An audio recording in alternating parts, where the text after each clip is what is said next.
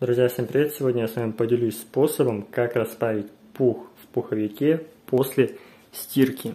Как вы можете заметить, пух скомкался и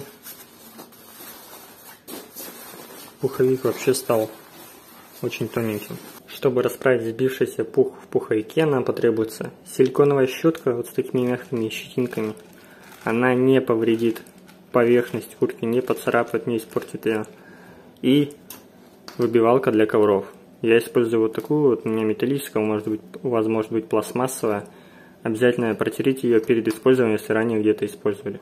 В первую очередь распределим пуховик на области, то есть область возле замка, рукава и спинка нашего пуховика. В каждом квадратике мы будем проделывать определенную работу. Какую сейчас я вам расскажу. В первую очередь нам потребуется силиконовая щетка. Как вы можете заметить, у нее очень мягкая щетина и куртку она не повредит.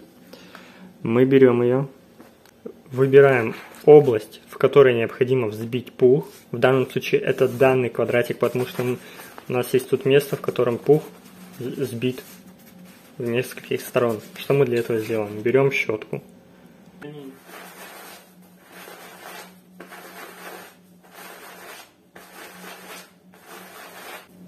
Мы берем выбивалку для ковров. Вот, и вот такими вот движениями Обратите внимание на левую и правую сторону. Левую сторону мы уже проработали, и вот правая сторона.